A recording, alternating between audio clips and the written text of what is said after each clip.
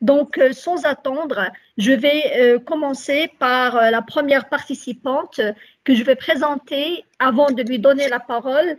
Il s'agit de Madame Dominique Mouillo, qui est présidente de WIN Global. Mais Madame Dominique a derrière elle un parcours extrêmement riche que je ne pourrais développer en si peu de temps, mais que je vais extrêmement résumer en lui laissant la parole, de parler, euh, en lui donnant la parole pour qu'elle un petit peu puisse nous résumer son parcours. Madame Dominique est l'une des chefs d'entreprise les plus reconnues dans le secteur nucléaire français. Elle a commencé sa carrière professionnelle comme ingénieure de recherche en chimie au niveau du commissariat à l'énergie atomique et aux énergies alternatives, en menant des projets pour le ministère français de la Défense. Et entre 79 et 96, elle a occupé des postes de chef de produit ainsi que de directeur commercial et marketing en France et à l'étranger, dans les domaines de l'ingénierie nucléaire et des systèmes de mesure nucléaire pour la sécurité des installations, des travailleurs et des populations. Il a également occupé des postes de direction dans des groupes importants. Il travaille actuellement dans le groupe euh, espagnol euh, GDES en tant que vice-présidente en France. Madame Dominique Muello est présidente de Win France, était présidente de Win France pendant 15 ans, de 2005 à 2019. Il a cofondé Win Europe en 2010 et il a été président de Win Europe pendant 6 ans et vice-présidente de Win Global de 2012 à 2016. Madame, ce parcours extrêmement riche mérite bien d'être partagé avec toute la jeunesse que vous allez certainement inspirer. Et donc, je euh, vous prie de nous parler de votre parcours, des difficultés notamment. Vous avez derrière vous des, des, des années de richesse de production est-ce que le genre, est-ce que vous avez senti à un certain moment qu'il y a cette discrimination genre? Et puis, euh, comment vous voyez euh, l'avenir de ce parcours? À vous la parole, Madame Dominique. Merci beaucoup à, vous tous et, merci, euh, Monsieur le Directeur, de nous accueillir et à vous toutes, Mesdames, de participer à ce webinaire. C'est un grand honneur pour moi d'être parmi vous je, voudrais vous exprimer que euh, dans le cadre de mon parcours en tant que femme, lorsque j'ai commencé dans le secteur nucléaire, il y avait très peu de femmes dans les postes que j'occupais progressivement et j'ai plutôt euh, été euh, regardée comme une personne un peu nouvelle, un peu extraterrestre et euh, je n'ai en réalité rencontré aucune difficulté pour développer ma carrière, pour évoluer et aucune difficulté liée au genre. Alors, vous allez me dire pourquoi Premièrement, j'ai toujours euh, énormément travaillé mes dossiers et, et j'ai cherché en permanence à être très professionnelle et à me présenter tout le temps comme une professionnelle et non nécessairement comme une femme. Et euh, j'ai osé prendre des risques et saisir des opportunités. Et finalement, avec euh, cette, euh, cette volonté, cette audace et avant tout, je répète, le professionnalisme, j'ai pu croître dans ma carrière en vivant des expériences très différentes dans des entreprises étrangères et des entreprises françaises euh, sans euh, rencontrer de difficultés. J'ai plutôt vécu cela comme une force.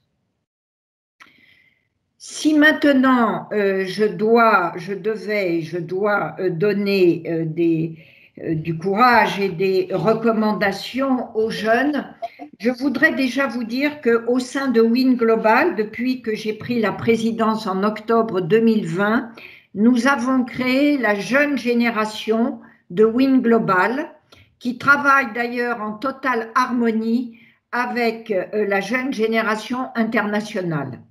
Donc ça, c'est très important. Et euh, je pense que les jeunes, il faut leur montrer que dans l'industrie nucléaire en général et dans le secteur nucléaire, il y a de nombreuses opportunités pour eux de faire une carrière et de faire une belle carrière, une carrière scientifique, une carrière commerciale, une carrière juridique. et surtout leur permettre de développer leur leadership, le, terme a été utilisé, et avoir de l'audace et confiance en elles. Souvent, ce qui manque aux jeunes, et aux jeunes femmes en particulier, c'est la confiance en elles. Et pour cela, au sein de Win Global, nous développons des programmes de mentoring et nous avons euh, lancé un partenariat avec un institut d'entrepreneuriat et de leadership qui est un institut situé à Madrid mais à rayonnement international et euh, qui pourra euh, apporter et, de l'accompagnement à toutes ces jeunes femmes et, aux jeunes en général. Voilà. Et euh, pour moi, ma, carrière, ça a été une aventure humaine. Ça a été une aventure humaine euh, qui m'a apporté énormément de richesse et, euh, et, il est, il, et on peut d'autant plus en profiter que l'on on, on reste humble. Il faut avoir confiance, il faut avoir de l'audace, mais il est important de travailler beaucoup de très bien préparer toujours ses dossiers, mais de rester humble et euh, rigoureux. Et, voilà. Voilà ce que je, peux vous dire.